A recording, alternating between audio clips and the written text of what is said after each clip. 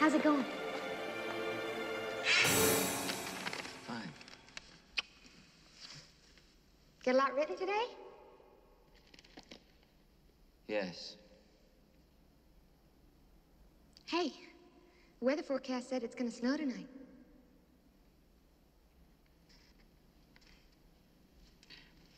What do you want me to do about it?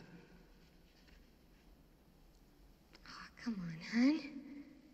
Don't be so grouchy. I'm not being grouchy. I just want to finish my work. Okay, I understand. I'll come back later on with a couple of sandwiches for you, and maybe you'll let me read something then. Wendy, let me explain something to you. Whenever you come in here and interrupt me, you're breaking my concentration. You're distracting me. And it will then take me time to get back to where I was. Understand? Yeah? Fine. And we're gonna make a new rule. Whenever I'm in here, you hear me typing.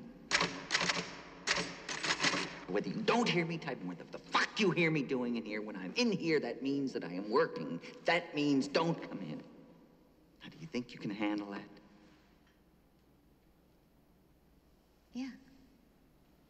Fine. Why don't you start right now and get the fuck out of here?